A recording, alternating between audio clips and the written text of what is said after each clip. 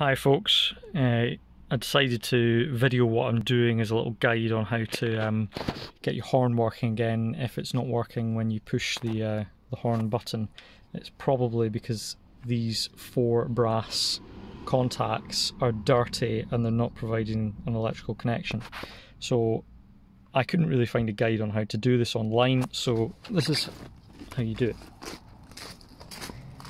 Okay, so you start by removing these two trim panels. There'll be more photos in the description of how to um, how to get those off.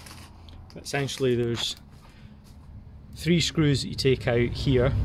There's another two screws at the back, and then where these um, holes are, there's a series of um, locks that you take out. The panel over the battery comes out first, and then the one at the back here comes out second, and then you can get access to the battery. So what you need to do, you can leave the positive in place, but you must must remove the negative. You mustn't work on the horn um, without that because of the airbag. And so what you do is you just tuck the um, the negative battery terminal away to the side. So once you've done that, you're ready to go into the car. And to begin with, I just um, checked, making sure you know that there was absolutely no um, electrical connection to the car at all. And then once you're satisfied with that, you can move on to the horn. So with the um, with the battery disconnected, you can move the steering wheel about at will because the the lock won't come on. So this is the hard hardest bit. What you need to do is remove this boss, the steering wheel boss, and this is held on with this wire.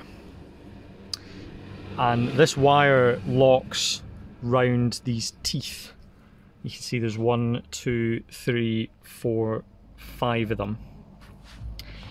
So to get them off, what you have to do is take a screwdriver, look around the back of the steering wheel and you'll see that there's a couple of holes. There's an identical one to this on the other side and then on the back of the steering wheel you see this one in here.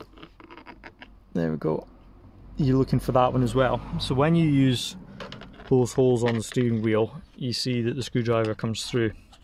So what you're trying to do is not just shove the steering wheel boss off because it's locked in behind these teeth what you're actually trying to do is bend this um, piece of wire in. See, I don't know how well you'll be able to see, but it does move, and by bending it in, you can get it over the um, over the hooks, and it'll start to pop off. Now, just beware, one, once it's popped off the teeth, because of the fact the teeth are angled, it'll pop back on quite easily. So once it's off, just keep a bit of light finger pressure on as you then go to the other side. So I find that the best technique to do it was um, to go round from one of the sides, do the bottom next, and then the last side. And I find that once you've done that, you can then rotate it off this way and it will come off these two last teeth which you can't get into. It is a bit of a, a pain in the backside to do. So once it's off, you can take your sandpaper and clean up these brass contacts. Um, I find that having the steering wheel rotated 180 degrees was the easiest way because uh, you can get access to all the three holes and it also means that you can handily rest the steering wheel boss on uh, on the top of the steering wheel. So now that I'm putting it back on I've just got it so that the wire is out of the way but you can see it actually needs to go on upside down like this. So to put it back on you just line up the steering wheel boss and then just press firmly and it will re-engage the wire on all of these um, all of these hooks.